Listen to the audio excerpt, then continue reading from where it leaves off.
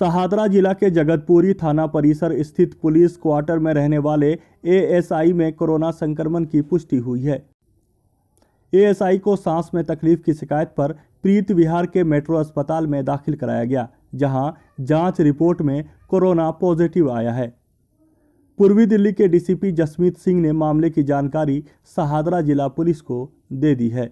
पीड़ित एएसआई पूर्वी दिल्ली के पुलिस लाइन में तैनात है और वो परिवार के साथ जगतपुरी थाना स्थित पुलिस क्वार्टर में रहता है। एएसआई के परिवार में उसकी पत्नी के अलावा दो बेटे हैं। फ़िलहाल एएसआई के परिवार के सदस्यों की भी जाँच की जा रही है। साथ ही क्वार्टर को भी सैनिटाइज करने का आदेश दिया गया है।